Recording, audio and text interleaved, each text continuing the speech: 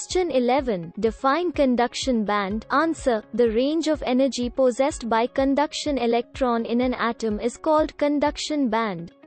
Question 12. Explain forbidden energy gap. Answer. The separation between the conduction band and the valence band on the energy band diagram.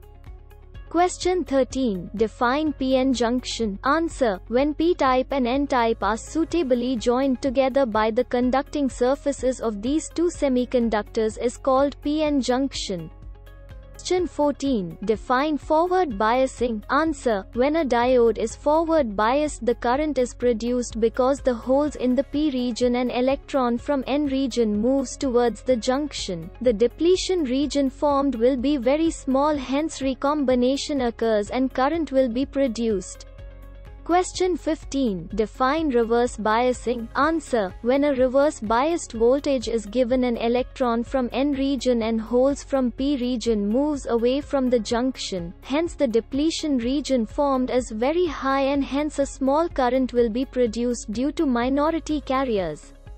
Question 16. Define reverse resistance. Answer. The resistance offered by the diode in its reverse biased condition is called reverse resistance.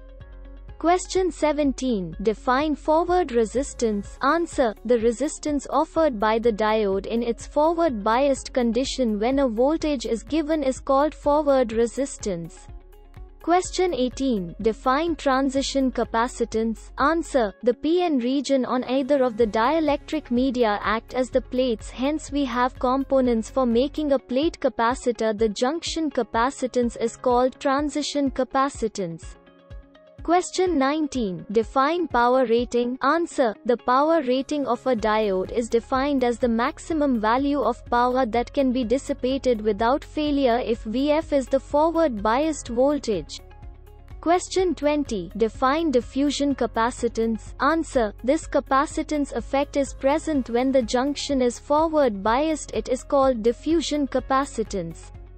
Question 21. Define drift velocity and drift current. Answer. When an electric field is applied the charge carriers moves in the opposite direction and produce current this result is drift current and net average velocity is called drift velocity. Question 22. Define transition time. Answer. Only after the minority carriers are swept of the junction the diode voltage begins to reverse and the diode current decreases exponentially the time which elapses between and when the diode normally recovered is the called transition time. Question 23. Define storage time. Answer. When the conduction diode is reverse biased the voltage does not become zero. Immediately up to time t1 the diode is conducting in the forward direction.